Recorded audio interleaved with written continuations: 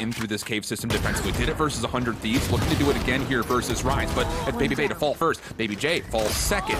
Now it's just down to Corey to hold the front door, and hold it has he. Finds himself a double. Free weapon, by the way, and with that Neptune 4